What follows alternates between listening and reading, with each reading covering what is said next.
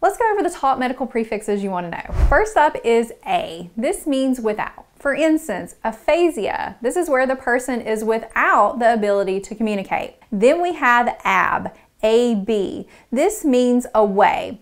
So whenever we're talking about abduction, this is where we're moving the arms away from the body. Then we have the opposite of that, which is ad, A-D. This means toward. For instance, adduction. This is where we're going to move the arms toward the trunk of the body. Next is ACU, which means hearing. And you may hear this term in acoustic trauma, which is where we have damage to the hearing. And then we have acro, ACR, which means either extreme or extremity. And you can see this prefix used in the term acrocyanosis. And this is something that we look for in the newborn during the APGAR assessment. Cyanosis means a bluish color, so we are seeing bluish colors in either the hands or the feet, which are the extremities. Then there's andro, which means the male reproductive system. It's found in the word androgens, which is a sex hormone that promotes male characteristics. And then we have angio, which means vessel. So if we say angioma, we're talking about a tumor that is mainly made up of blood vessels. And then ante means before or in front of. So whenever we're talking about antecubital, this is the region before or in front of the elbow. And then there's anti. This means against or instead of. So whenever we are talking about antibiotics, we're talking about something that works against a living organism such as bacteria. And then there's arth, which means joint. So when a person says they have arthritis, they have something that affects their joint. Particularly, it's inflaming their joint. And auto means self or own. So whenever you say you have an autoimmune disease, you have a disease that is attacking yourself or your own tissue. Then we have bi, B-I. That means two. So whenever we talk about the bicuspid valve in the heart, we're talking about a valve that has two cusps on it. And then there's bio, which means life. Therefore, whenever we refer to the word biology, this is the study of life. And then there's blast, which means bud or an immature form of something. So when I say blastocyte, that means I'm talking about an immature cell that will eventually mature. And then we have brady, which means slow. So if I say someone has bradycardia, I'm talking about that they have a slow heart rate. And this is typically less than 60 beats per minute in an adult. And then we have broncho. Broncho deals with the lungs, particularly the large tubes in the lungs, like the bronchi or the bronchus. So when we say bronchoconstriction, we're talking about those large tubes that have narrowed. The next we have bucco, which means cheek. So if the nurse receives an order to give a medication the buccal route, we're going to give it in the cheek. And then there's cardio, which means heart. So if a person is a cardiologist, they study the heart. And then we have cephal, which means the head. So whenever you hear the term cephalic, that means the head region. Next up is cerebro, which means brain or cerebrum. Therefore, we say a person has had a cerebrovascular accident. This is a type of stroke that has affected the brain or cerebrum. And then we have circum, which means around. So whenever we say circumduction, that means that we are moving the limbs around in a circular motion. Next up is cost, which means the ribs. Therefore, whenever I say the term costovertebral, I'm talking about the region where the ribs and the vertebra meet. Then we have derm. Derm means skin. So whenever you say dermis, we're talking about the middle layer of the skin. And then we have dys, D-Y-S, and this means difficult. So if you say a patient has dysphagia, dysphagia, that suffix part is talking about eating or swallowing. And when we put D-Y-S in front of it, that prefix, that means that they have difficulty swallowing or eating. Followed by that is endo, which means within. Therefore, if we say a person is having an endoscopy, we're talking about them having a procedure where we're going to go with a scope within the body to look around and see what's going on. Next is entero, which means intestine. So if a person has enteritis, that means that they have inflammation of their intestines. And then epi means above or on top of.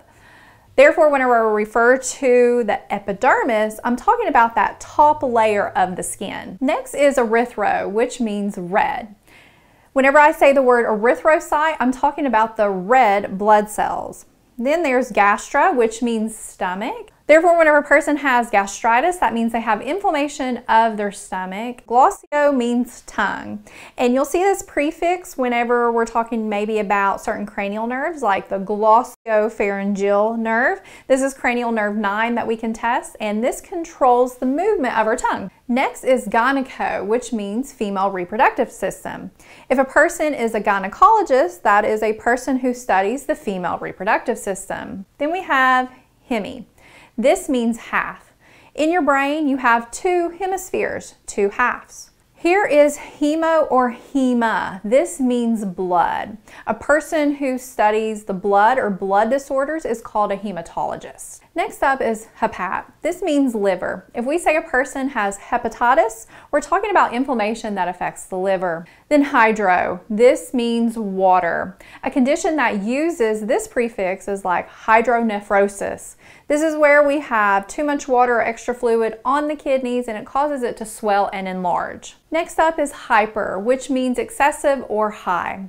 There are a lot of electrolyte imbalances that love to use this prefix. For instance, like hypernatremia. Whenever you take this word apart, look at its prefix, its root, and its suffix, you get high or excessive amounts of sodium in the blood. Then we have an opposite prefix with this, which is hypo.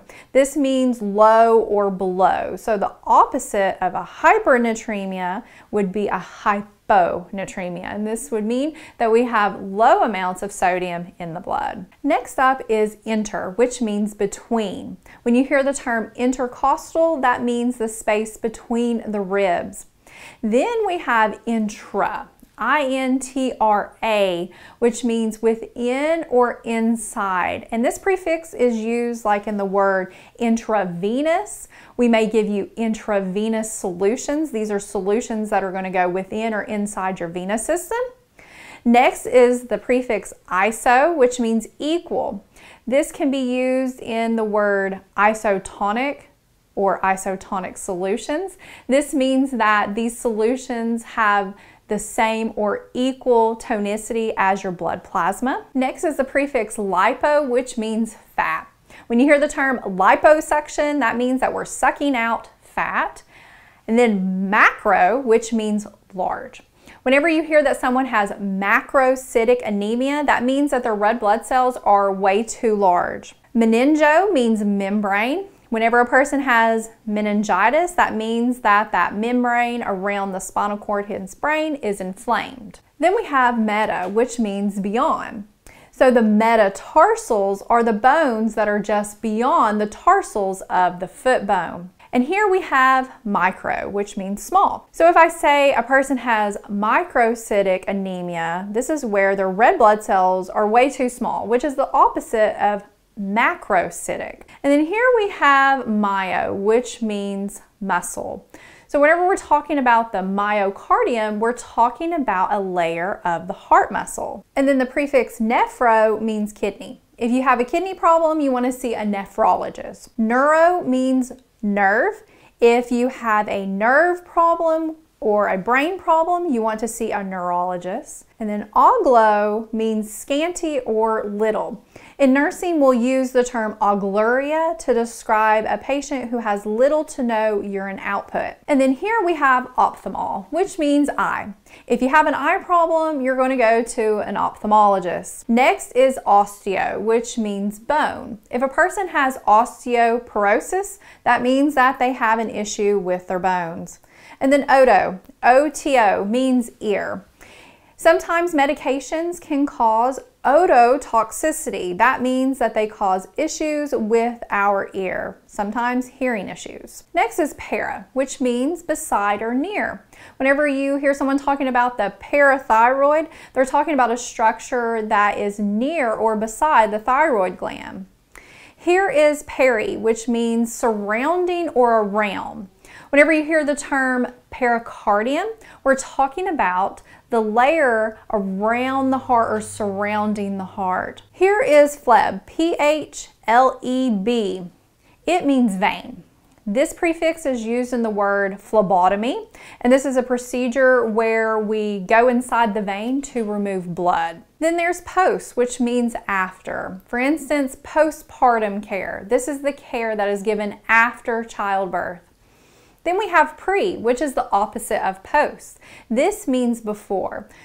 If we say prenatal care, this is the care that is given before childbirth. And then the prefix pseudo means fake or false. Whenever you hear the term pseudoscience, this is something trying to claim it's science, but it's actually false and fake.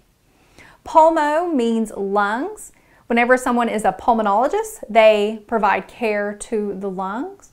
Rhino means nose. Whenever a person has rhinitis, they have inflammation that's affecting their nose or their nasal area.